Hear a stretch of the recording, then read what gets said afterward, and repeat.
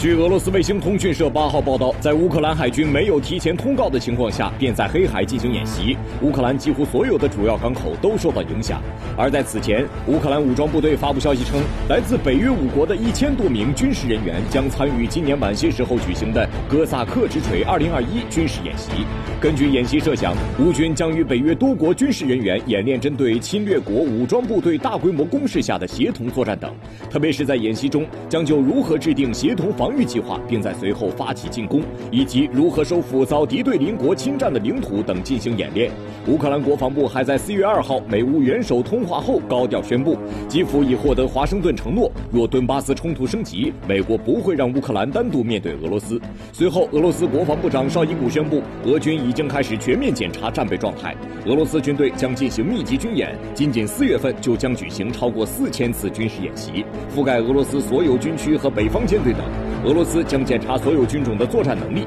另外，俄罗斯公开了检查战略导弹部队和防空力量的画面。